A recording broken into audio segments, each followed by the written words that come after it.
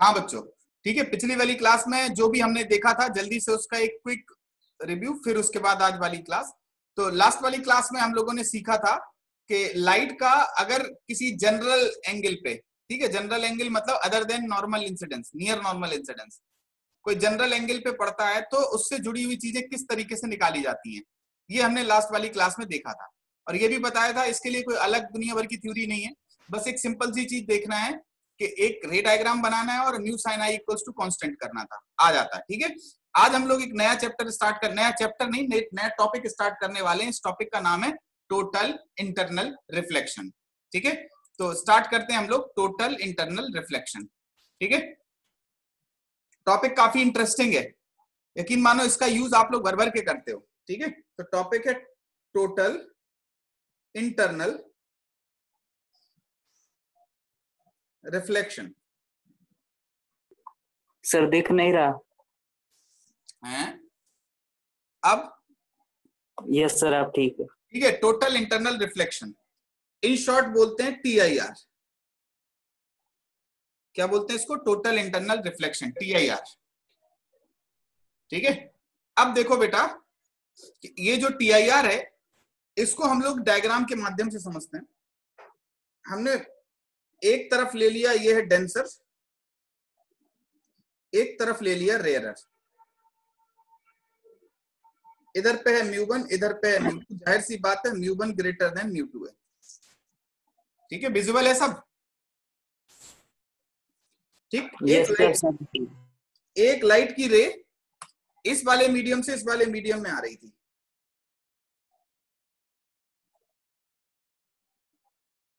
ज़ाहिर सी बात है, अबे फ्रॉम दी नॉर्मल बेंड करेगी। टेढ़ा क्यों हो रहा है यार? कोई बात नहीं, आप लोग समझ लेना कि ये ऐसे है ये, ठीक है? ठीक अंडरस्टूड है वो?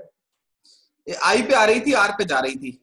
आप और आई को बढ़ाओगे, ये आर और बढ़ेगा? एंगल ऑफ़ इंसिडेंस बढ़ाओगे एंगल ऑफ़ रिफ्रेक्शन बढ़ेगा? बोलो। ये फेनोमेना है रिफ्रेक्शन ठीक अब अगर आप मान नहीं रहे हो, आपने एंगल को और बढ़ाया बढ़ाया बढ़ाया, बढ़ाते ही चले जा रहे हो, बढ़ा बढ़ा के आपने इतना कर दिया, इधर पे है म्यू वन इधर पे है म्यू टू आपने और ज़्यादा बढ़ा दिया, बढ़ाते बढ़ाते ये एंगल बढ़ बढ़ के कितना हो गया? 90 डिग्री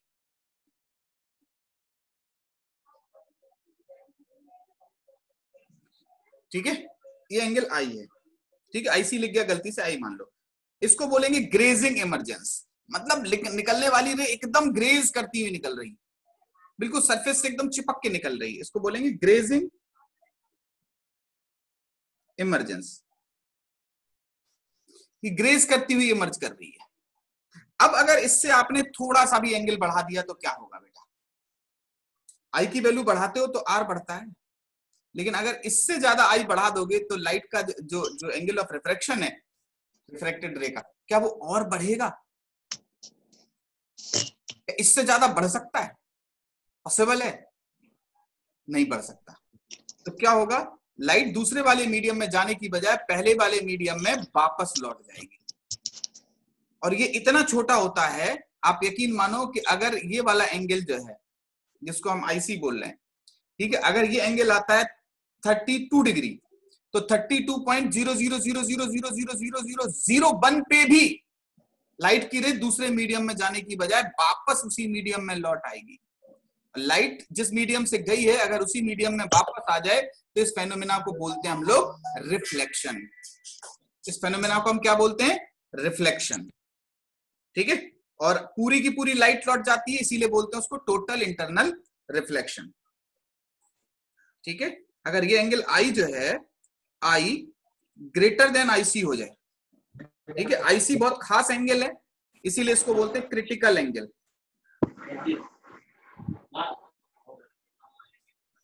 ठीक है? आई ग्रेटर देन आईसी हो जाए तो लाइट की रे दूसरे मीडियम में जाने की बजाय वापस उसी मीडियम में लौट आती है। इसे बोलते हैं पूरी की पूरी लाइट का अंदर ही अंदर लौट जाना। इसको बोलते हैं टोटल इंटरनल रिफ्लेक्शन ठीक है? In short T I R क्या बोलते थे इसको? In short T I R ठीक है मानवी हम देख लेते हैं। ठीक है लेकिन जब तक जितना थर्ड वाला केस फिर से बता दीजिए। थर्ड वाले केस में ये था कि अगर देखो लाइट की रे आई पे पड़ी आई। जनरल आर पे निकल रही थी। अगर आप आई को बढ़ाते जाओ बढ़ाते जाओ तो आर भी बढ़ता जाएगा। बढ़ के इतना हो जाएगा कि आई को इतना कर दो कि बढ़ के बढ़ के क्या हो जाए? लाइट की रे एकदम चिपक के चलने लगे। लाइट की रे एकदम चिपक के चलने लगे यानी कि ग्रेज करती हुई इमर्ज करे। इसको क्या बोलेंगे? ग्रेजिंग इमरजेंस क्या बोलेंगे इसको? ग्रेजिंग इमरजेंस ठीक है?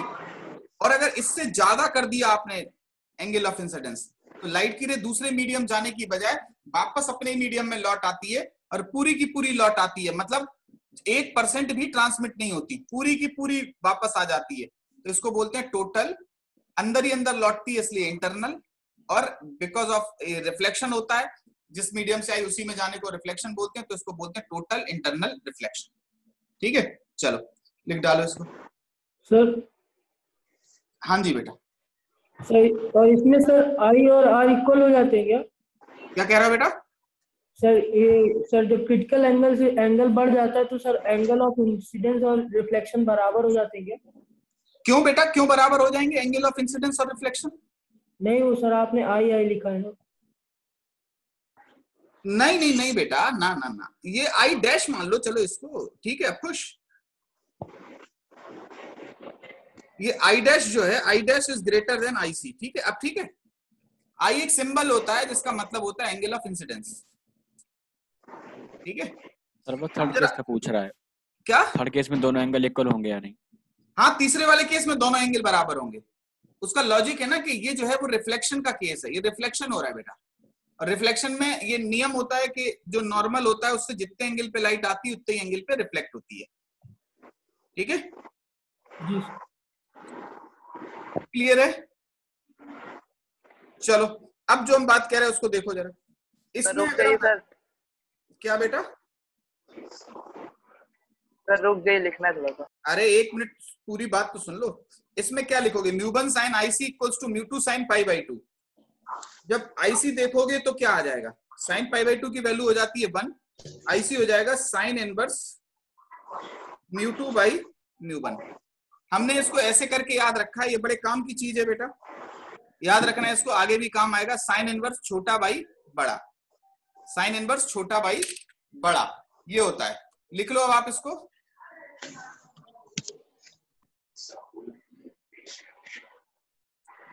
नोट कर लिया बेटा इसको। यस सर चलो वेरी गुड अब देखो आगे।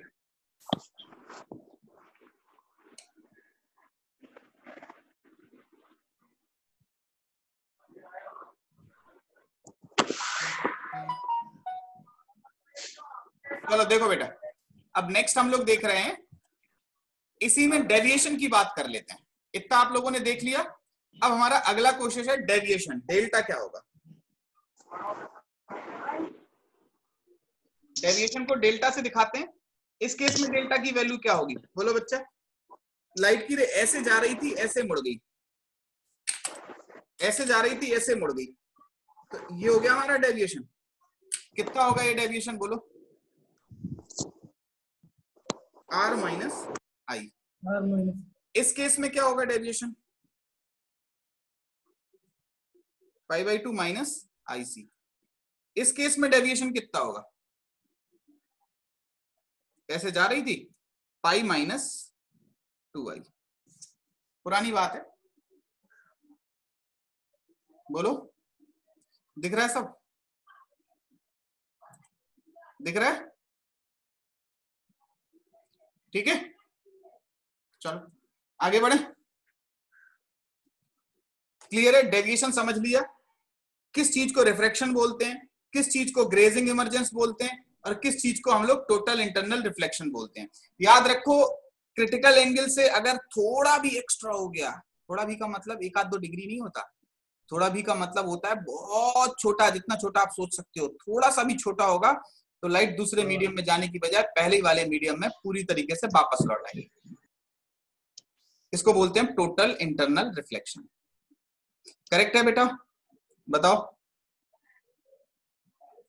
ठीक है? चलो, अब बहुत बार लोग सवाल ऐसा पूछ लेते हैं, क्या आप डेल्टा वर्सेस आई का ग्राफ बना सकते हो? अगले वाले पन्ने पे बता दे रहे हैं।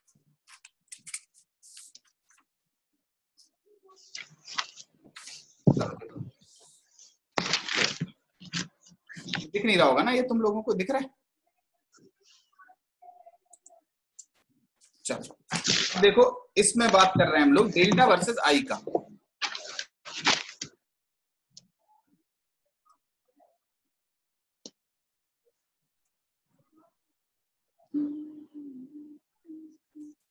डेल्टा वर्सेस आई का ग्राफ कैसे बनेगा बेटा?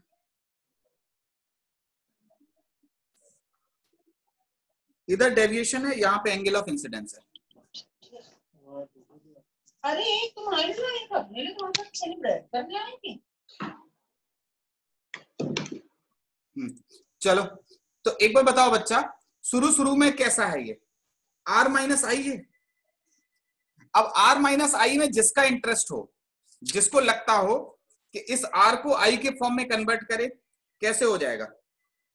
Mu one sine i equals to mu two sine r तो आर की वैल्यू क्या हो जाएगी? Sine inverse mu one by mu two sine i यहाँ पे रखे और बड़ा खतरनाक सा एक एक्सप्रेशन बनेगा। उस खतरनाक से एक्सप्रेशन का जो ग्राफ होता है, वो कुछ ऐसा होता है। हम डायरेक्ट उसी पे पहुँच जा रहे हैं। ठीक है? जो खतरनाक सा फ़ंक्शन है, उसका ग्राफ कुछ इस तरीके का आता है। और जैसे ये वाला एंगल पहुँचता है, ये वाला एंगल है आईसी जैसे ही आईसी से थोड़ा भी बड़ा होता है आईसी पे ये डॉट है। ये हॉलो है। आईसी पे ये वाला एंगल कितना है? देखो, लिखा है pi by two minus i c लेकिन जैसे ही इससे थोड़ा भी ज़्यादा हुआ, तुरंत ये क्या हो जाता है? पाई माइनस टू आई तो आईसी से थोड़ा ज़्यादा तो शुरुआती पाई माइनस टू आईसी होगा। उसके बाद ये स्ट्रेट लाइन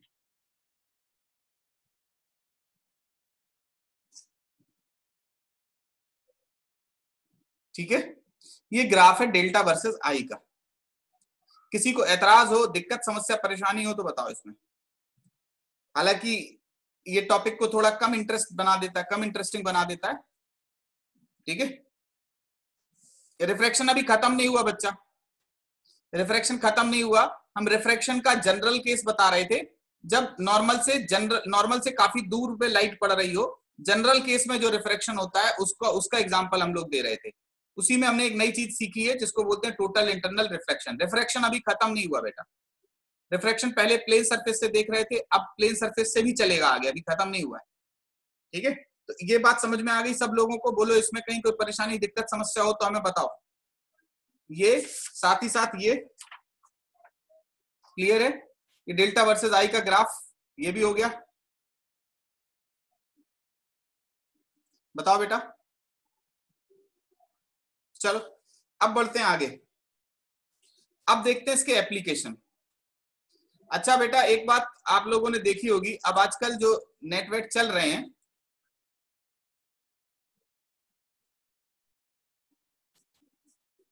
वो सब एक नई टेक्नोलॉजी पे चल रहा है, जिसको बोलते हैं हम ऑप्टिकल फाइबर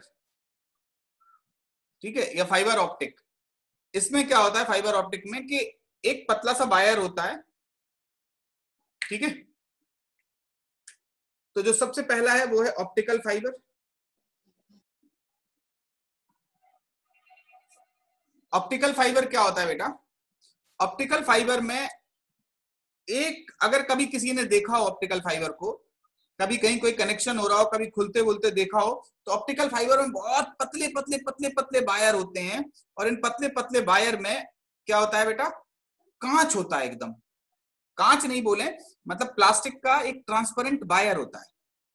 और उस ट्रांसपेरेंट बायर के ऊपर कोई एक दूसरी कोटिंग होती है।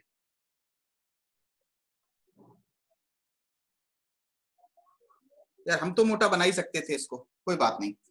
तो हमने इसके क्रॉस सेक्शन को लिया, इस तरीके से बन गया ये।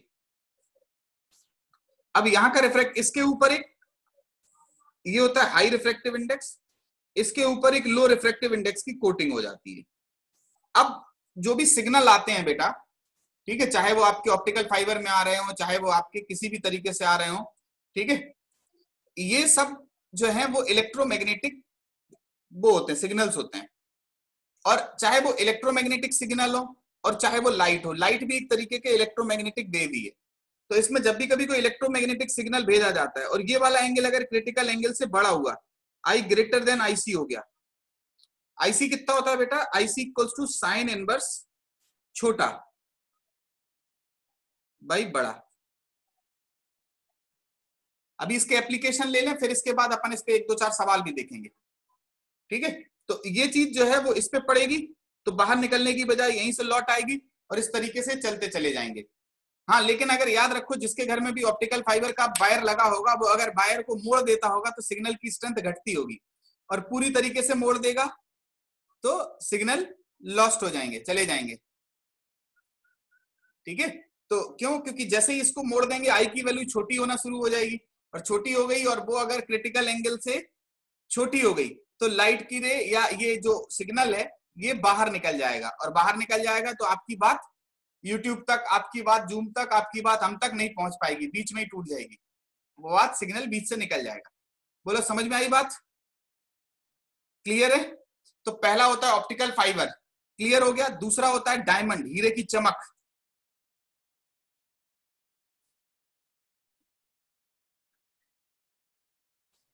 हीरे में क्या होता है बेटा? हीरे की चमक जो होती है वो इस तरीके की होती है। हीरे की शेप कुछ खास होती है इस तरीके की। देखा होगा हीरा? नहीं देखा होगा तो डायमंड कॉमिक्स तो सबने पढ़ी है। ठीक है? ये ऐसे ही होता है हीरा, ठीक है? तो हीरे की एक पर्टिकुलर शेप होती है, लगभग इसी जैसी होती है, ठीक है? अब होता क्या है इसमें?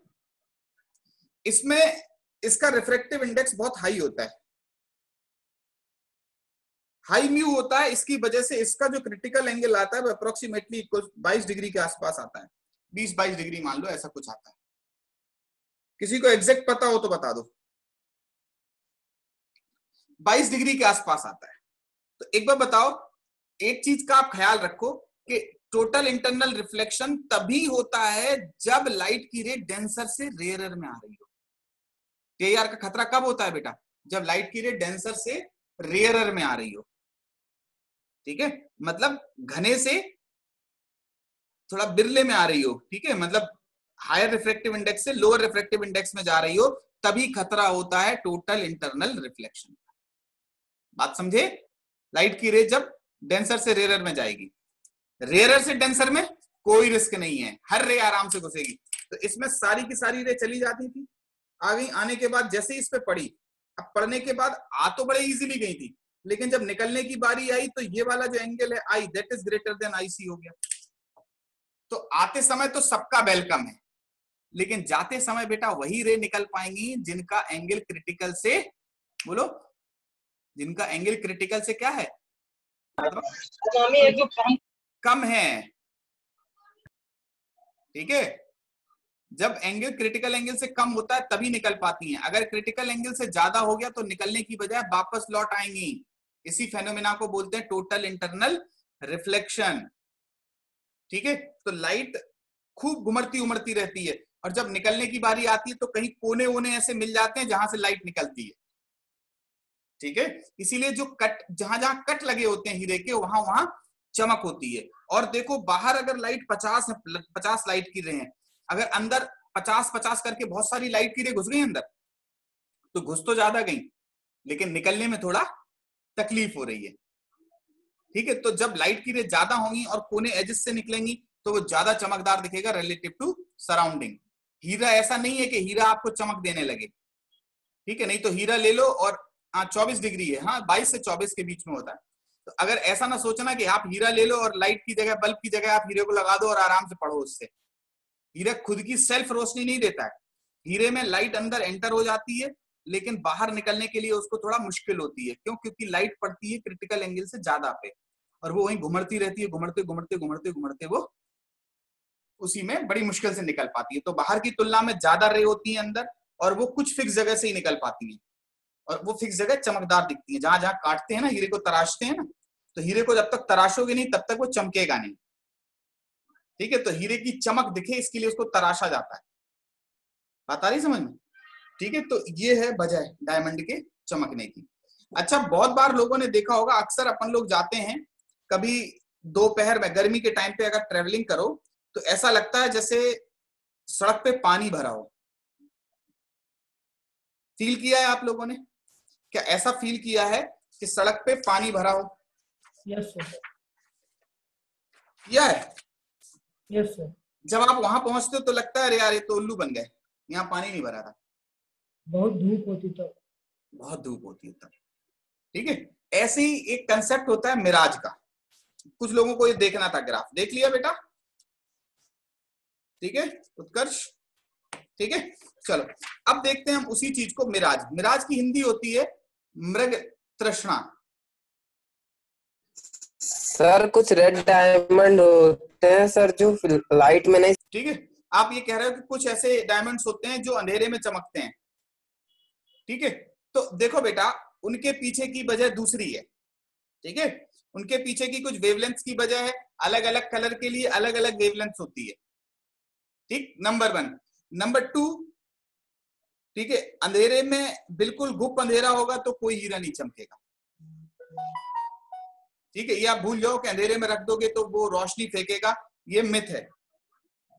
भैया, हीरे में लाइट जब तक अंदर एंटर नहीं होंगी, तब तक बाहर निकलने का प्रयास नहीं करेंगी और प्रयास नहीं करेंगी तो वो चमकेगा नहीं। हीरे को यूँ यूँ करके देखते हो ना, तभी तो चमकता हुआ दिखता है वो। दिखता है ना? ठीक है? तो ये चीज़ है। अब देखो, हम अगले एक टॉपिक पे जा रहे हैं जिसका नाम है मिराज।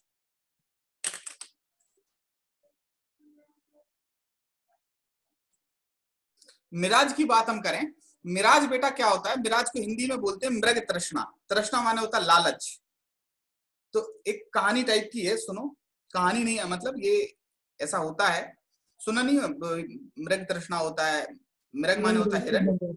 तृष्णा माने होता है लालच। हाँ सुना है सर। बन जाता है। हाँ तो इसमें क्या होता है? मृग की तृष्णा का मतलब है चैप्टर था सर। होता क्या है? रेगिस्तान में ठीक है? रेगिस्तान में ऑसिस होते हैं मरुद मतलब कुछ ऐसा होता है जो अरे ओसिस मतलब रेगिस्तान के अंदर अंदर छोटे छोटे पानी के स्रोत पन, पानी का एक तालाब जैसा होता है। मरुस्थल। मरुस्थल अलग है बे। मरुस्थल वाह। वैसे की बात कर दिया मरुस्थल के अंदर सर रोड पर भी होता है। हाँ ओसिस बोलते हैं उनको बिल्कुल सही बात है। तो वो ओसिस टाइप के होते हैं मतलब पानी से भरे हुए छोटे छोटे तालाब। अब दूर से जब हिरन देखता है तो उसको ये लगता है कि सामने वाले खजूर के पेड़ के नीचे तालाब है। जब वो उस पेड़ के नीचे जाता है तो उसको ऐसा महसूस होता है, अरे यार, हमने गलत ध्यान दिया, इस पेड़ के नीचे नहीं था, अगले वाले पेड़ के नीचे तालाब है। जब वो अगले वाले पेड़ पे जाता है तो यही चीज़ उसको फिर पिछले वाले पेड़ पे लगने लगती है। और आप जानते हो कि जिस टाइम पे आपको अपना लक्ष्य दिखने लगता है, उस टाइम पे आपकी स्पीड बढ़ जाती है। ठीक है? अगर आपको लगे पानी पीना और सामने जो है पानी की बोतल भरी हुई दिखाई देने लगे तो आप आश्वस्त हो जाओगे, एकदम भाग के तुरंत अपनी एनर्जी वेनर्जी कुछ नहीं सोचोगे, उठा लोगे। और फिर आप बोतल उठाओ और बोतल खाली दिखे तो क्या लगेगा? ठीक है? इसी तरीके का उस हिरण के साथ होता रहता होता रहता होता रहता फाइनली जो हिरन है वो अपने प्राण त्याग देता है। ठीक है? अब इसको जो है अपनी फिलोसफी से जोड़ा जाता है कि मनुष्य जो है वो मोह माया के पास में बंधा हुआ है, चारों तरफ़ घूम रहा है। इसी में कभी इधर कभी उधर भटकता रहता है। लास्ट में जब तक उसको ज्ञान होता है तब तक जो निकल चुका होता है। डाइंग हाँ। ठीक है? तो अब इसी को जरा समझते हैं कि मिराज में क्या था। उसको ऐसा क्यों लग रहा था कि अगले वाले पेड़ के नीचे है या अगले वाले पेड़ के नीचे? हाँ अंकुर बेटा नागमणि नागमणि की बात कर रहे हो बेटा। नागमणि हमें नहीं पता है नागमणि क्या होती है। और नागमणि कैसे जलती है हमें आइडिया नहीं है। नागमणि का नहीं पता है बेटा। ठीक है? बट नागमणि भी टोटल इंटरनल रिफ्लेक्शन से ही चमकती होगी। ठीक है?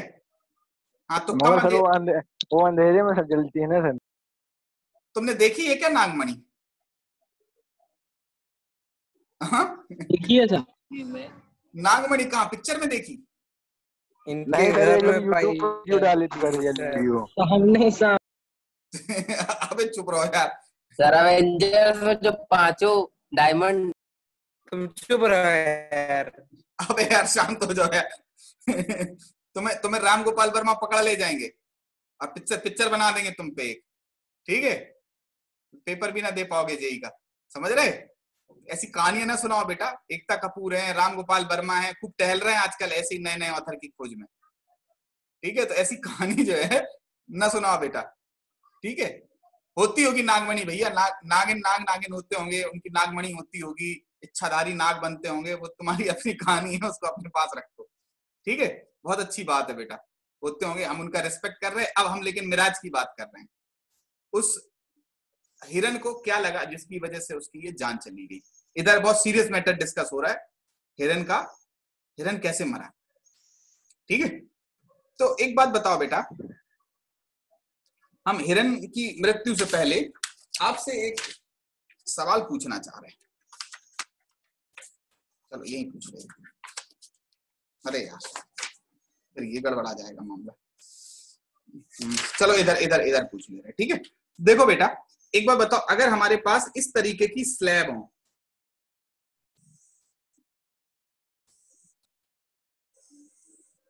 इस तरीके की स्लैब हो इसका रिफ्रेक्टिव इंडेक्स हो 1.1 1.2 इसका हो 1.5 इसका हो 1.4 इसका हो 1.3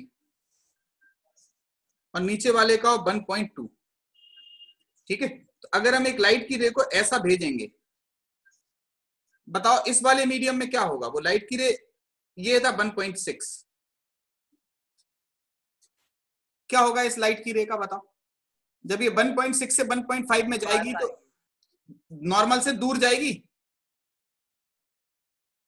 थोड़ी सी। और दूर हो गई। ये थोड़ी और दूर हो गई ये थोड़ी और दूर हो गई। मतलब कुल मिला के ऐसे ऐसे करके लगेंगे कट ऐसे ऐसे करके। Tick fit tick fit tick fit इस तरीके से दूर दूर की तरफ़ होगी कि नहीं होगी? बोलो। इसमें कहीं कोई आपत्ति है किसी को? नहीं सर। 1.6 से 1.5 हुआ 1.4 हुआ 1.3 हुआ। इसमें लाइट की रे नॉर्मल से दूर भागती चली जा रही है। ठीक है? चलो, अब इधर देखें हम, मिराज में क्या होता है बेटा? जब भी कभी बहुत कस के रेत गर्म हो जाती है, जब रेत ज़्यादा गर्म हो जाती है तो इस तरीके की लेयर्स बन जाती हैं बहुत सारी। इन लेयर्स में चलो हम पहले एक चीज़ और देखें, सबसे पहले तो हम ऐसा कर लें कि एक पेड़ बना लें खजूर का।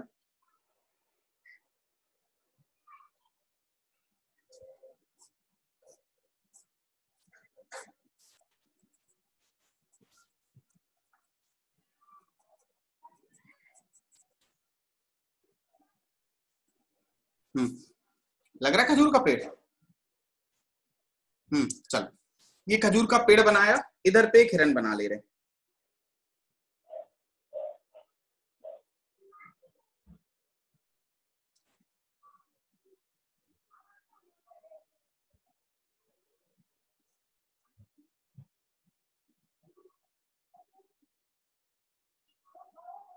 क्यों बेटा, लग रहा है हिरन जैसा?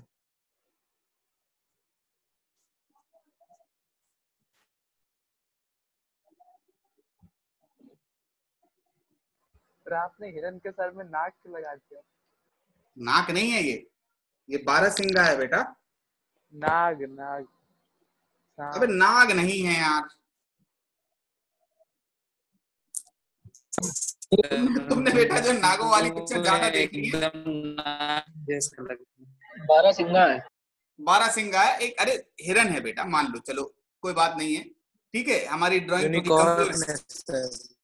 हाँ लग रहा है ना ठीक ठाक अब देखो होता क्या है? हम मान सकते हैं कि इधर पे जब है लो रिफ्रेक्टिव इंडेक्स और ऊपर ऊपर हो, होता है हाई रिफ्रैक्टिव इंडेक्स ठीक है? गर्मी की वजह से क्या होता जाता है? बहुत सारी लेयर्स बन जाती हैं। नीचे लो रिफ्रेक्टिव इंडेक्स होता है ऊपर हाई रिफ्रेक्टिव इंडेक्स हो जाता है। इस तरीके से बहुत सारी रेज हैं।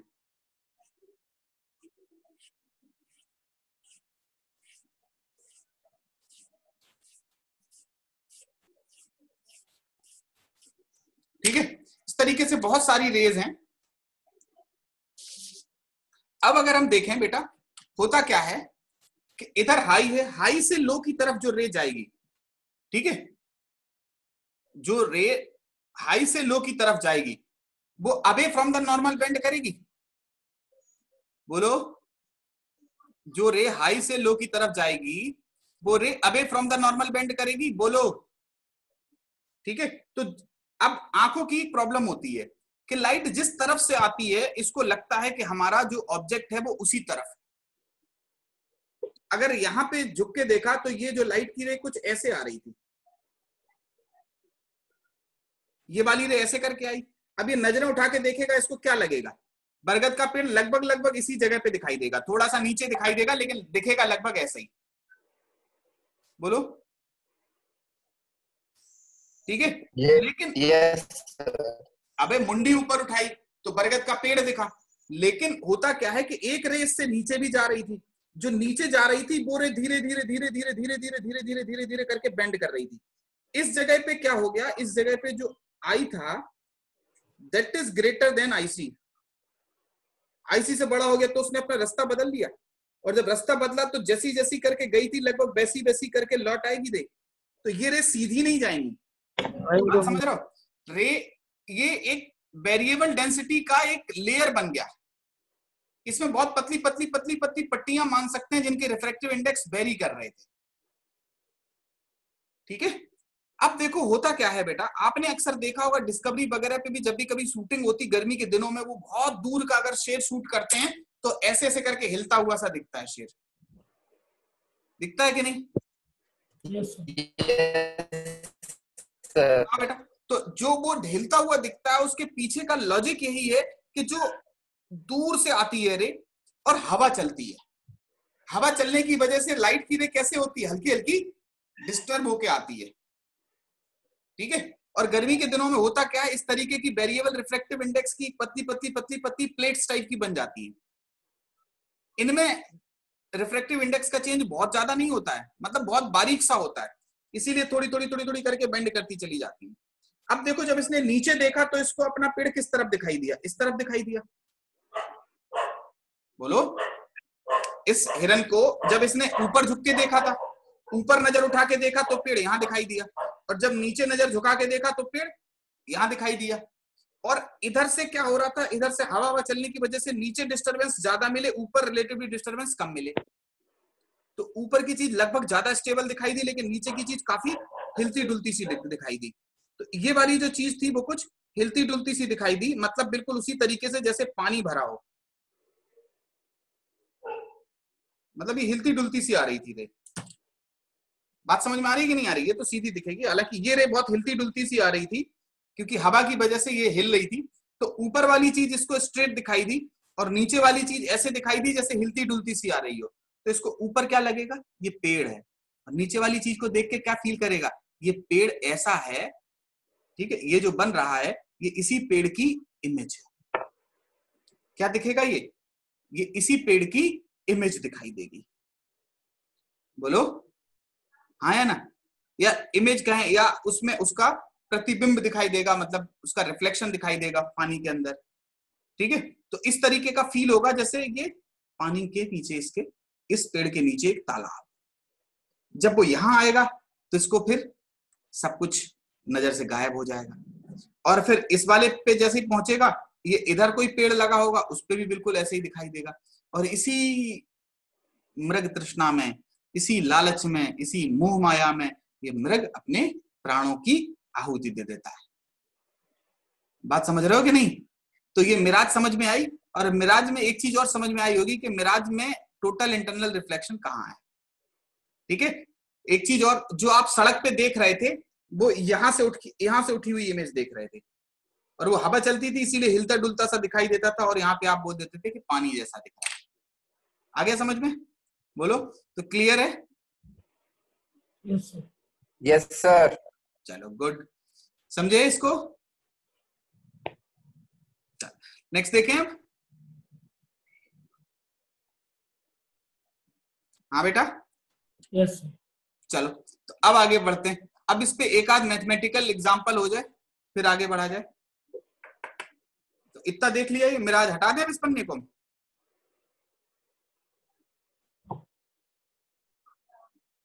अरे बताओ यार।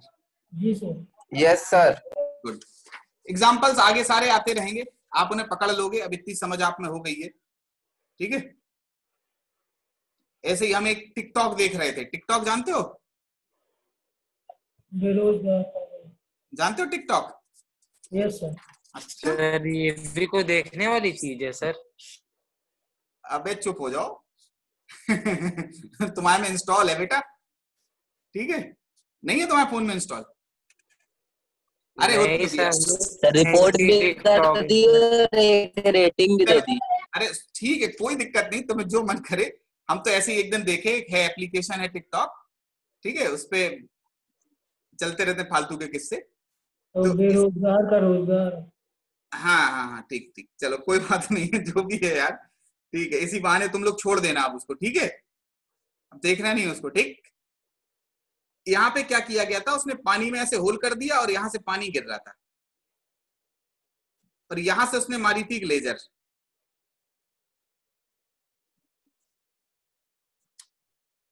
ठीक है? तो ये लेजर जो है, यहाँ से लाइट निकलने की बजाय लेजर यहाँ ये पूरी, ये जो है, पूरी हरी हरी हरी हरी लग रही थी ये। नीचे ये जो धार गिर रही है, ये फ्लक्स गिर रहा है, ये जो पूरा पूरा वो ग्रीन ग्रीन दिख रहा था, यहाँ ग्रीन लेजर था। ठीक है? और उसने लिख रखा था बेंडिंग ऑफ़ लाइट डिफ्रेक्शन फिर हमने नीचे लिख दिया चुपचाप उसके कमेंट में this is total internal reflection तीन, चार, पाँच लोगों ने हमारे उसको लाइक किया। ठीक है? अरे मतलब बताने की चीज़ है कि इसमें भी ये टी आई आर ही लग रहा है। यहाँ से लाइट आई और ये बाहर नहीं निकल पा रही है। क्यों? क्योंकि यहाँ ये है डेंसर और बाहर है रेयर तो लाइट की रे बाहर नहीं निकल पा रही है। ठीक है? चलो, आगे बढ़े। हम्म चलो। चलो, बहुत अच्छी बात है बेटा, तुम लोगों ने छोड़ दिया ये टिकटॉक देखना।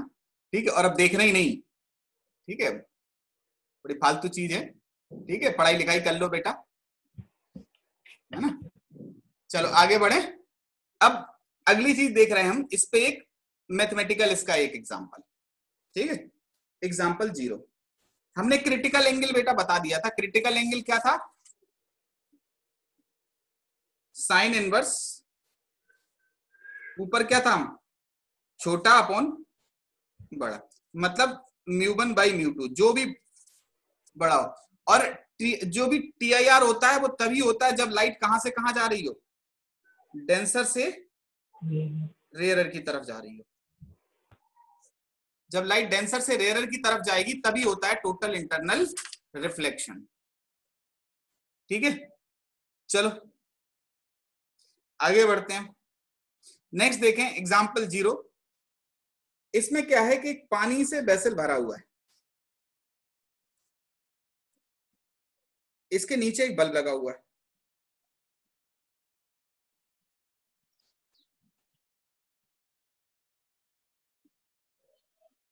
ठीक? ये बल्ब लगा हुआ है। अब हर तरफ़ लाइट जा रही है।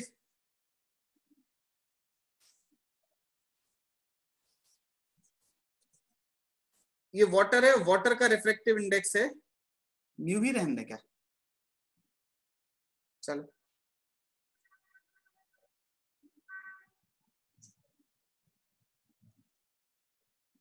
ये हाइट है एच ठीक? अब सवाल ये है कि देखो जो ज़्यादा एंगल पे है, वो तो क्रिटिकल एंगल से बड़ा होगा तो वो डायरेक्ट लौट के आ रहा है? सवाल ये कि यहाँ कितने एरिया को कवर कर दिया जाए ताकि कोई भी लाइट बाहर ना निकल सके? ठीक है? Question is find minimum area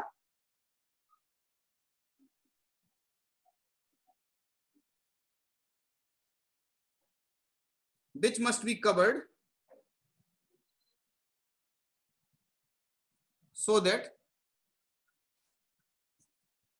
no light can come out. ठीक है? कोई भी लाइट बाहर ना निकल सके। ठीक है? कितना मिनिमम एरिया जो है वो कवर कर देना चाहिए। ठीक है? चलो। करो करो इस सवाल को बेटा। हम जरा पानी पी के आ रहे हैं। पानी लेके आ रहे हैं मतलब। हाँ जी बेटा, आ गया?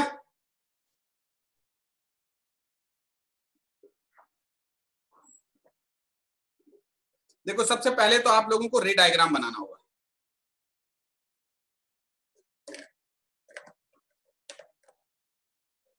देखो एक बार देखो, थोड़ा हल्का हल्का हल्का समझना बेटा। एक रे जो यहाँ से जा रही थी सीधी यहाँ से जाती।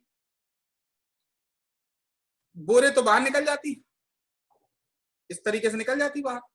जो थोड़ा और आगे होती वो और बड़े एंगल पे निकल जाती। जो एकदम कोने पे आई। लेट सपोज़ हमें नहीं पता है कि कितनी चाहिए। यहाँ वाली रे अगर ऐसे करके निकल रही मैंने हम्म, हो रही लेकिन पहन नहीं रहा।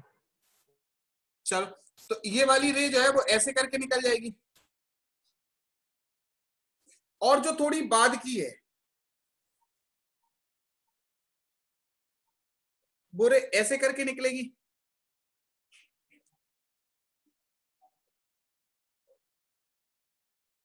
बोलो। हाँ है ना? अब एक बात बताओ, इससे आगे की जो रे है उनके बारे में सोच ही नहीं है, वो तो ऑटोमेटिकली ये वाली रे जो है,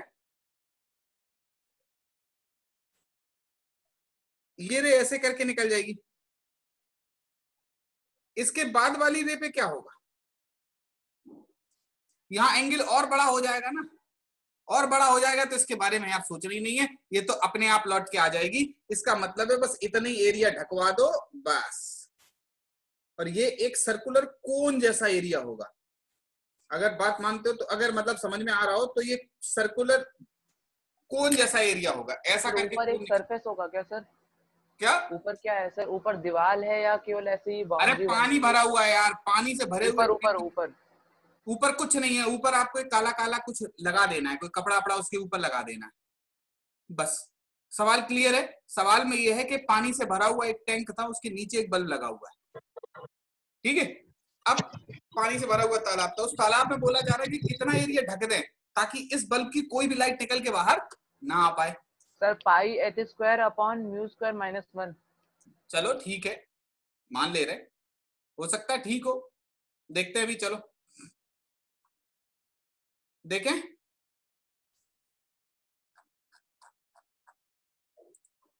देखो ये आर कैसे निकलेगी बेटा? ये वाला एंगल आईसी है आपके हिसाब से ये वाला एंगल भी कितना होना चाहिए? आईसी के बराबर होना चाहिए। बताओ। यस और आपको पता है साइन आईसी हाँ, कितना हाँ। होता है साइन आईसी छोटा बाई बड़ा। करेक्ट है? तो one by mu equals to sine ic की वैल्यू क्या हो जाएगी? R upon under root r square plus h square इत्तेफाक रख रहा है इस बात से? तो इधर उधर ले जाओगे क्या हो जाएगा? Mu square r square equals to r square plus h square बोलो? तो यहाँ से आर मिन निकालोगे आर मिन कितना हो जाएगा बेटा? म्यू स्क्वायर माइनस वन दिख नहीं लो। अब ठीक है? दिस इंप्लाइज दैट जो एरिया होगा that will be pi r square pi h square mu square कुछ गड़बड़ तो नहीं हो गया बेटा हमसे? कुछ गलत तो हो ही गया यार तुम लोग भी। अबे यार। H upon under root mu square minus one है यार।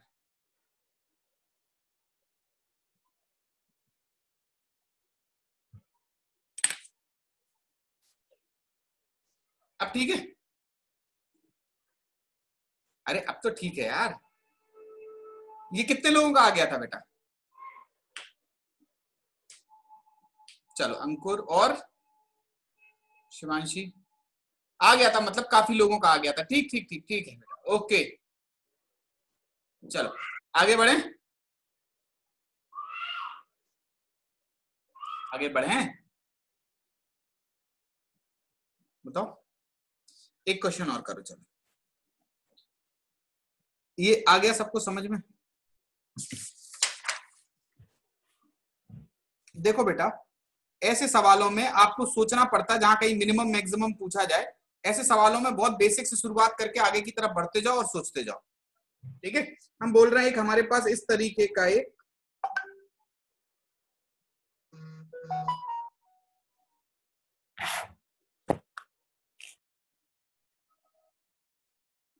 ये क्या कह सकते हो इसको एक स्लैब है।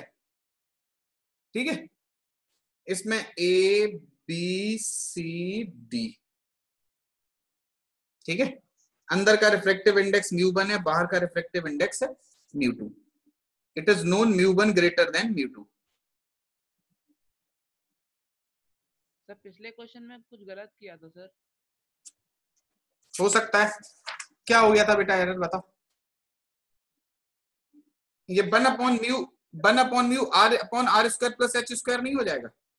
ये इधर जाके mu square r square equals to r square plus h square हो गया। आर स्क्वायर को कॉमन लिया r equals to h upon mu square minus one है।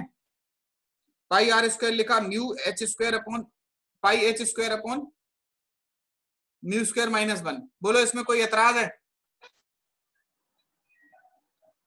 सर आपने पहले गलत रख किया था ना सर पहले मल्टीप्लाई कर दिया था। हाँ। सही कर दिया उसको। चेक कर रहे थे कि कौन कौन ठीक से सुन रहा है। ठीक है? चलो। इधर देखो।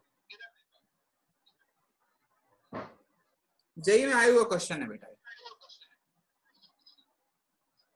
ये घटेगा।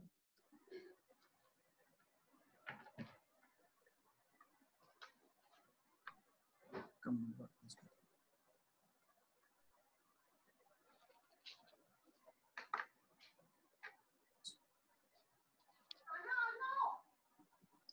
ये एंगल अल्फ़ा पे एक लाइट की रे इंसिडेंट कराई जा रही। है जो ज़ाहिर सी बात है, जब इससे इसमें जाएगी तो टुवर्ड्स दी नॉर्मल बेंड करेगी। बोलो। अब हमसे सवाल ये कहा जा रहा है, देखो, अल्फ़ा अगर छोटा होगा बेटा तो बीटा भी छोटा होगा। बीटा छोटा होगा तो ये वाला एंगल और बड़ा हो जाएगा। अब इसको बढ़ाओगे तो ये भी बढ़ेगा और ये छोटा होता जाएगा। छोटा होता जाएगा तो रिस्क, यहाँ से बाहर निकलने की उतनी बढ़ती चली जाएगी। ठीक है? सवाल ये कह रहा है कि अल्फ़ा की मैक्सिमम पॉसिबल वैल्यू क्या हो सकती है? ताकि कोई लाइट ए बी से बाहर ना निकले।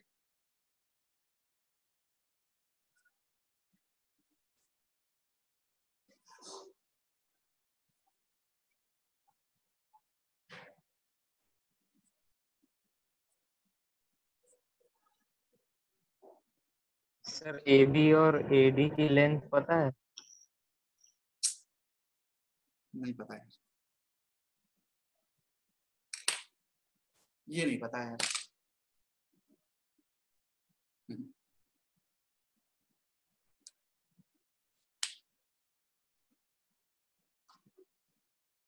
सोचो आप लोग, जेई में आया हुआ सवाल है।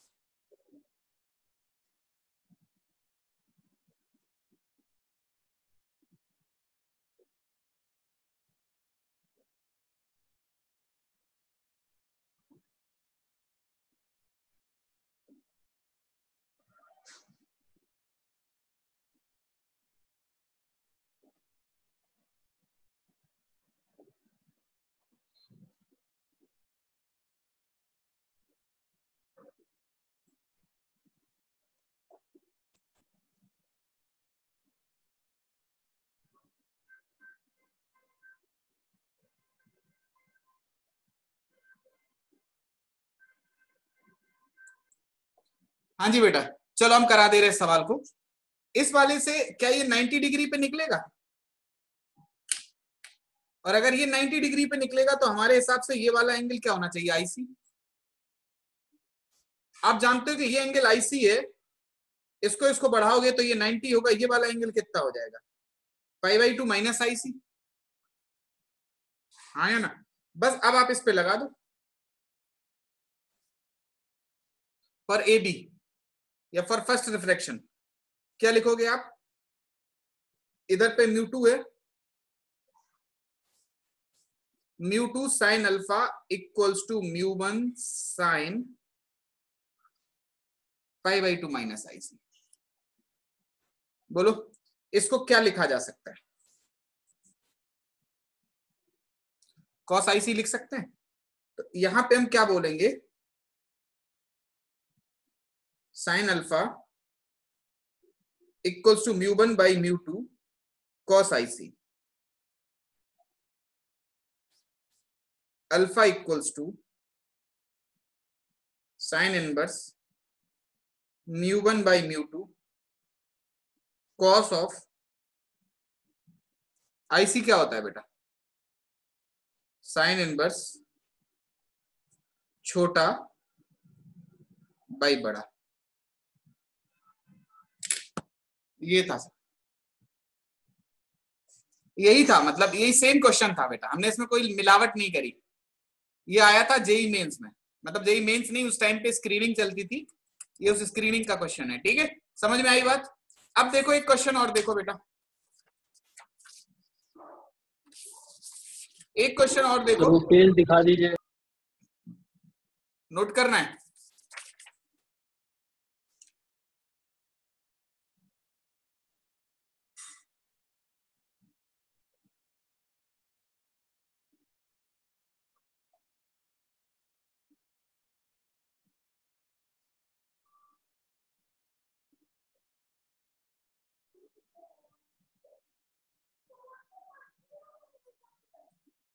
हो गया, सर।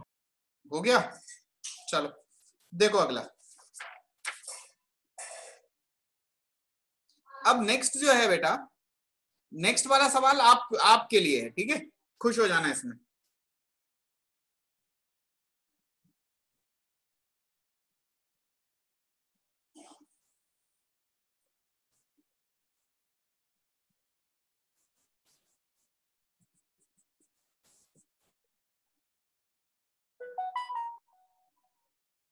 लाइट जो सीधी जाएगी बेटा तो ये सीधी अंदर एंटर होगी।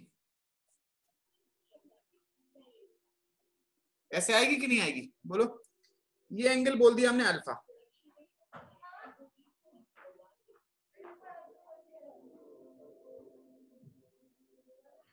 बोलो। करेक्ट है। अब हमसे बोला जा रहा है अल्फ़ा की मिनिमम वैल्यू क्या हो सकती है?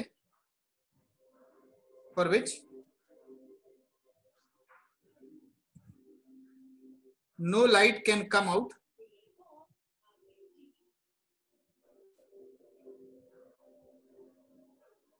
From AB. एकदम परपेंडिकुलर इस सरफेस के पड़ रही है मतलब ज़ीरो एंगल ऑफ़ इंसिडेंस पे। गर्मी नहीं हो रही ठीक ही हो रहा है मगर है ऐसा बहुत। जलन टाइप है। जलन टाइप होता है। हो रही ना शरीर में।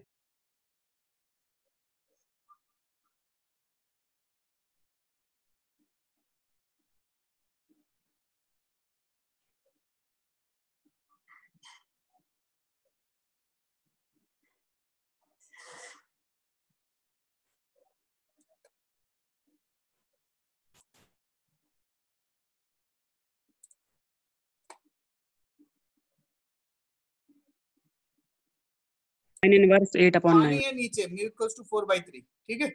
चलो। कितना आ रहा है बेटा? फिर से बताना। Sine inverse eight upon nine ठीक। देखते हैं बेटा। Sine inverse eight upon nine चलो देखते हैं।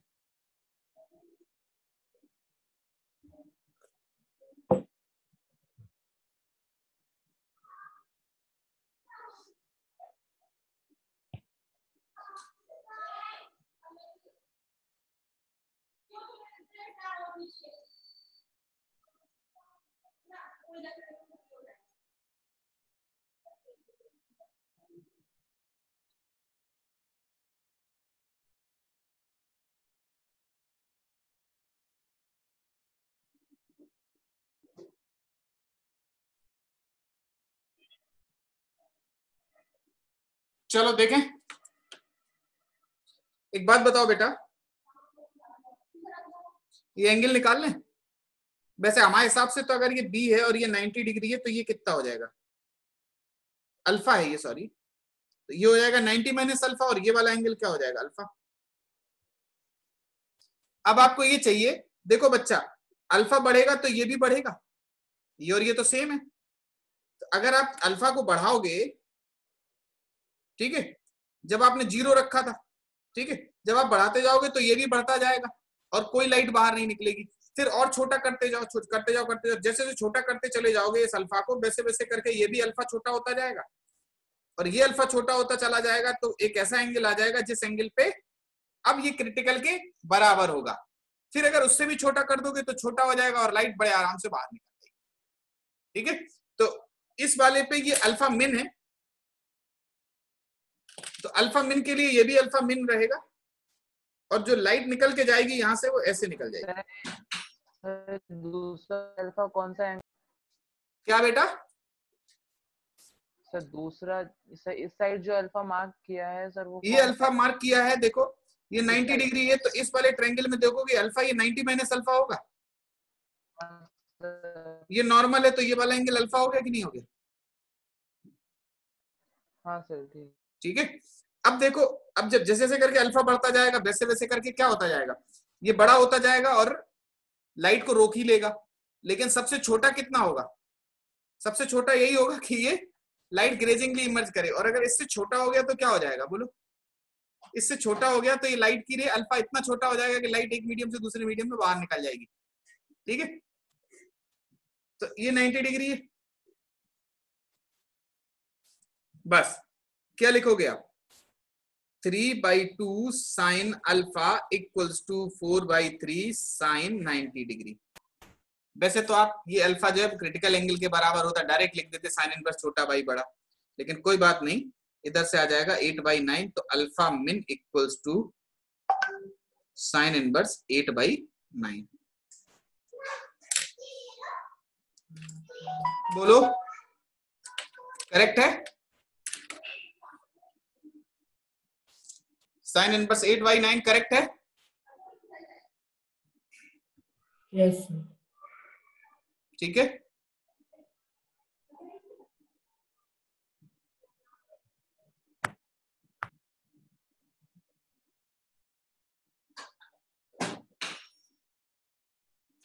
ठीक है? तो ये sine inverse eight by nine आ गया। ठीक है? हमें हमें समझ में आ रहा है कि थोड़ा थोड़ा आपको ये चीज़ें क्लियर होने लगी। हो रही है क्लियर बोलो। अरे बताओ बेटा टीआईआर क्लियर हुआ? यस सर ऐसे तो फिर ये एंडलेस है। हाँ जी। कौन पूछ रहा था बेटा? बताओ। ठीक है समझ में आया? टीआईआर थोड़ा थोड़ा आइडिया लगा। अभी खत्म नहीं हुआ टीआईआर भर भर के आएगा। अभी ठीक है पंद्रह मिनट चलना है पंद्रह मिनट का दूसरी क्लास करेंगे आधे घंटे की हम्म बेटा अभी ने खाना आना, अभी मत खाओ, थोड़ी देर पढ़ लो बेटा, है ना? ठीक है? चलो, इधर देखो। नेक्स्ट हम देख रहे हैं, जल्दी पंद्रह मिनट में छोड़ देंगे बेटा, ठीक है? टेंशन ना लो। तो ये चीज़ क्लियर हुई? ठीक है? तो टीआईआर अभी अंत नहीं हुआ टीआईआर और रंग रूप बदल के अगले वाले सवालों में भी आता रहेगा। फ़िलहाल के लिए हमें जो समझ में आया, वो इतना आया। कि लाइट की रे जब भी कभी डेंसर से रेयरर में जाएगी तो there is always a risk of TIR हमेशा एक टोटल इंटरनल रिफ्लेक्शन का खतरा ज़रूर आएगा। हमेशा याद रखना आप लोग ठीक है? तो ये टीआईआर खत्म हुआ। अब नेक्स्ट टॉपिक पे चले हम लोग। बोलो अब नेक्स्ट टॉपिक पे चला जाए? यस yes, सर चलो देखो नेक्स्ट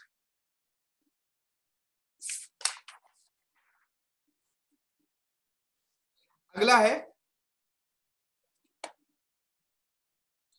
तो टेयर के बाद हम लोग एक अगले छोटे से टॉपिक पे देख ले रहे हैं कि ये स्लैब क्या होती है और इससे किस किस तरीके के डेविएशन आते हैं किस किस तरीके की शिफ्ट होती है। ठीक है? तो अब हम देख रहे हैं shift due to slab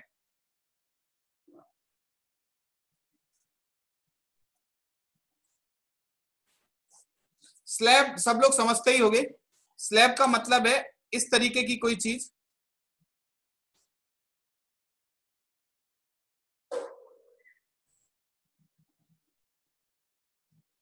ठीक है? करेक्ट है? इस तरीके से है ये। अब होता क्या है बेटा? इसमें दो तरीके के शिफ्ट आते हैं। ठीक है? एक आता है नॉर्मल के अलोंग और एक आता है एक जैसे नॉर्मल के अलोंग आता है इधर की तरफ़ जो शिफ्ट आता है उसको लॉन्गिट्यूडनल शिफ्ट कह सकते हैं और इधर की तरफ़ जो शिफ्ट आता है उसको ट्रांसफ़र शिफ्ट कह सकते हैं। ठीक है? तो एक लॉन्गिट्यूडनल शिफ्ट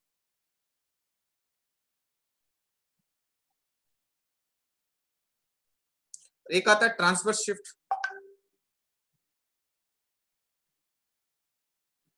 ये लॉन्गिट्यूडनल शिफ्ट क्या हो जाएगी? देखो बेटा एक चीज़ थोड़ा सा समझना। जैसे ये लगी हुई है आँख।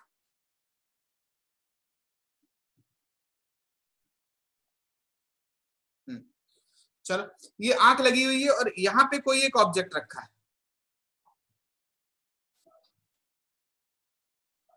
होगा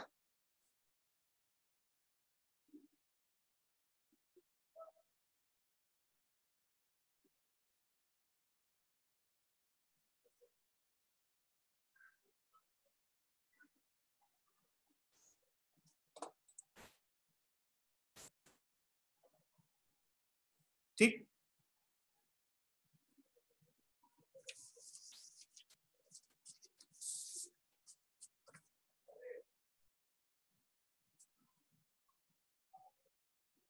ठीक है?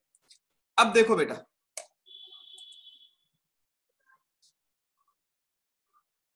इस केस में अगर हम देखें, ये लॉन्गिट्यूडनल शिफ्ट में क्या हो रहा होगा बेटा? इधर x1 है, इधर x2 है।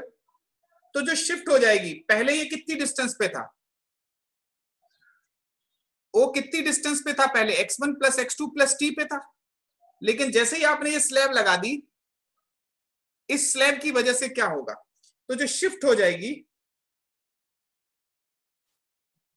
जिसको आप डेल्टा एक्स कह रहे हो, ठीक है? ये डेल्टा एक्स कितनी हो जाएगी? X real minus x apparent.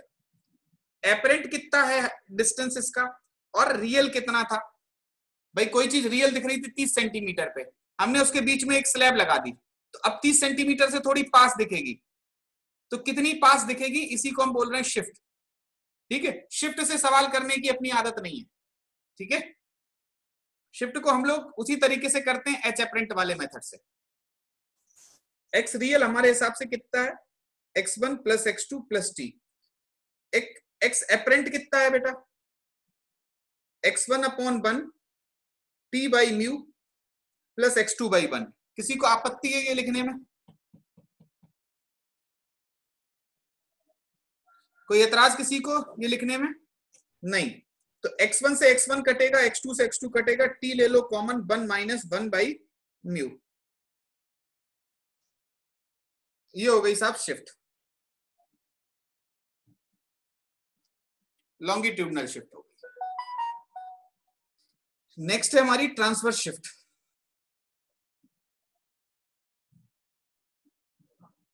ये समझ में आया कि नहीं आया बेटा? बोलो। अबे कोई हाँ कह दो यार। हाँ सर। यस सर सर एक बार फिर से बता दीजिए। चलो देखो एक बार बताओ ये कितनी दूरी पे है? शिफ्ट माने एक बार बताओ हम किसी चीज़ को देख रहे थे कोई एक पॉइंट ओ था जिसकी डिस्टेंस हमसे x1 one plus x two plus t पे थी। लेकिन भाई साहब ने टी थिकनेस की एक स्लैब बीच में लगा दी। मतलब एक कांच का छोटा सा एक इस तरीके के मोबाइल जैसा मतलब ट्रांसपेरेंट कुछ लगा दिया बीच में। चलो ठीक है? इस तरीके से कुछ लग गया। अब अगर हम बात कर रहे हैं उस टुकड़े की वजह से। क्या होगा? वो चीज़ जितनी दूरी पे थी, अब उससे थोड़ी सी पास में आ जाएगी कि नहीं? बोलो। उससे थोड़ी पास में आ जाएगी, कोई कांच की पूरी सी, पट्टी सी थी, उस, वो लगने की वजह से कोई चीज़ हमसे थोड़ी सी पास आ गई। तो जितनी पास आई है, हम उसी को बोल रहे हैं शिफ्ट हो गई वो शिफ्ट कितनी होगी? भैया, पहले रियल कितना था? और एपरेंट कितना दिख रहा है? रियल में से एपरेंट घटा दोगे तो वही शिफ्ट पता चल जाएगी कि कितना पास आ गया या कितना दूर चला गया। बोलो। बताओ। अब मैं जो पूछ रहा था उसको हाँ तो बोलना चाहिए।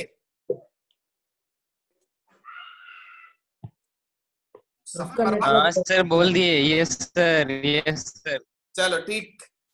समझ में आया? फर्जी हाँ नहीं बोलना है बेटा। यस सर हाँ फर्जी नहीं अगर नहीं आया है तो हमसे पूछ लो। अब देखो, अगली बात करें ट्रांसफ़र शिफ्ट की।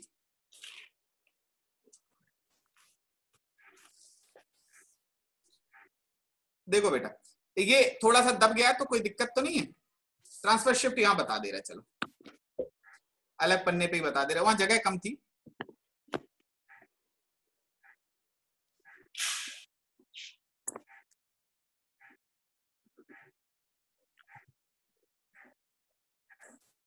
ये ट्रांसफ़र शिफ्ट क्या होती है बेटा?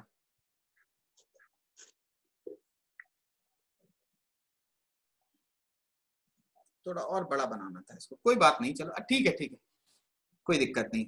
हमारी बात को थोड़ा सा बस सुनते चले जाना बेटा। ये ट्रांसफ़र शिफ्ट हम क्यों बोल रहे हैं इसको? कोई भी चीज़ ऐसे करके आ रही थी, लाइट की रे। आप इस एंगल को क्या बोलते हो? आई ना? आई तो बोलते हो? ये एंगल क्या हो जाता था? आर ठीक है? ये एंगल आर हो जाता है तो हमारे हिसाब से ये वाला एंगल भी क्या हो जाएगा आर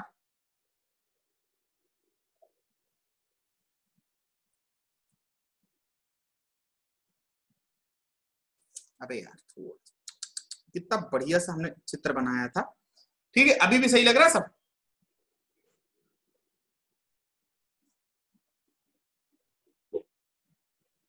ये हो गया चलो। दिख रहा है कि नहीं सब? बोलो बेटा। ये yes, वाली जो दिख रहा है। ये वाली जो शिफ्ट है आ रही थी ये किस तरफ़ से? ऐसे आ रही थी कोई रे। लेकिन जैसे ही आपने स्लैब लगा दी अब इसने अपनी दिशा थोड़ी सी ऊपर कर ली। तो कोई चीज़ जैसे ऐसा लगेगा कि जैसे हमने अगर टेढ़ी करके स्लैब लगा दी ठीक है तो हमें ये लगेगा जैसे सामने वाले की जो आँखें थी वो आँखें ना दिखे थोड़ी सी नीचे या ऊपर हो गई। बोलो? करेक्ट है? यस या आप टेढ़ा करके स्लैब लगा दोगे तो कोई भी चीज़ जो सामने दिख रही है वो थोड़ी सी ऊपर या नीचे हो जाएगी। करेक्ट है? इसी को बोल रहे हैं हम डेल्टा पाई। ये कैसे निकलेगा बच्चा? देखो अब हम बस एक बार में इसको कर दे रहे ठीक है, ये टी है। इसको नाम दिया हमने ए का, इसको नाम दिया बी का, इसको नाम दिया सी का। ठीक है, और बात कर रहे हैं इन ट्रायंगल ए बी सी खत्म ही हो ये तो। In triangle A B C A C equals to t upon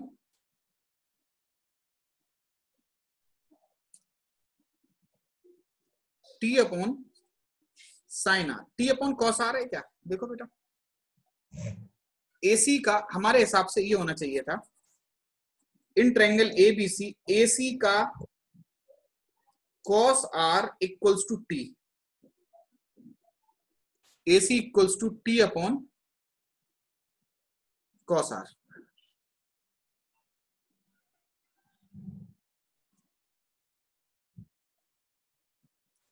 t upon cos r बोलो। अब अगर अपने पास एसी है, एक और ट्रेंगल बना लो डी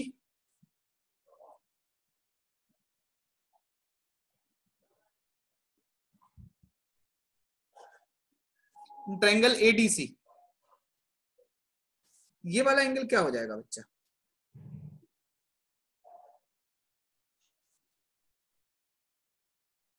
एसी का sine i minus r equals to delta y AC उठा के यहाँ से पुट कर दो। Delta y equals to t sine i minus r upon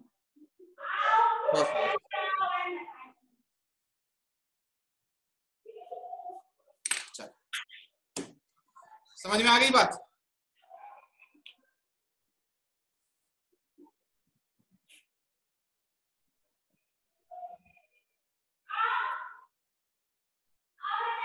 sir sir वो दूसरे वाले ट्रायंगल से समझा दिए। अरे बच्चा, देखो। ये टी लिखा था बेटा, है ना? इधर टी दिख दिख नहीं रहा होगा उधर तो ये टी ठीक है? देखो, एक बात जरा समझने की जो है, वो ये है कि ये हमें पता है ये कितना है? टी थिकनेस है तो ए सी का कॉस आर ये आर एंगल है। ए सी का cos R equals to T लिखा।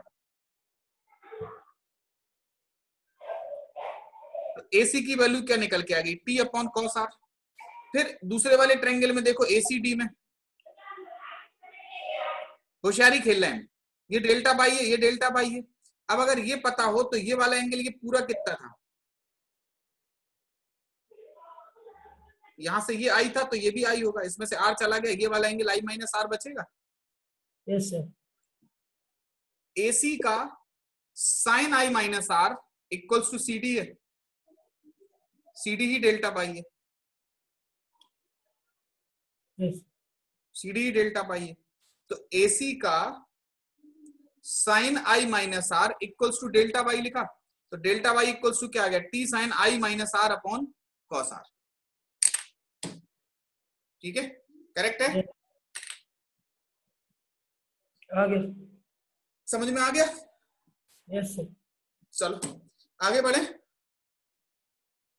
यस हाँ? यस सर चलो लिख लो इसको लिखोगे क्या दोनों को? लिख डालो। लिख लो लिख लो यार। लिख लिए सर सबने लिख लिया? सर अभी इसके बाद कितने टॉपिक और पढ़ाएँगे सर कब? आज? हाँ सर क्यों क्या हो गया बेटा?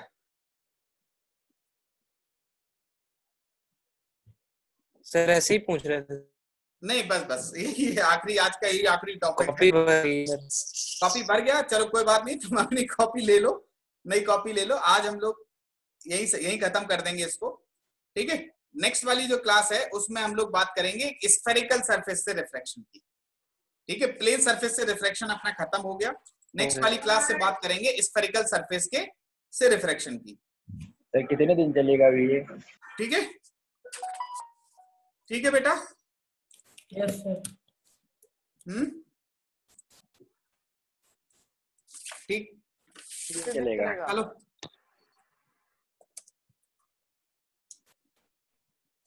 good night sir bye sir good night good night बेटा। Sir good night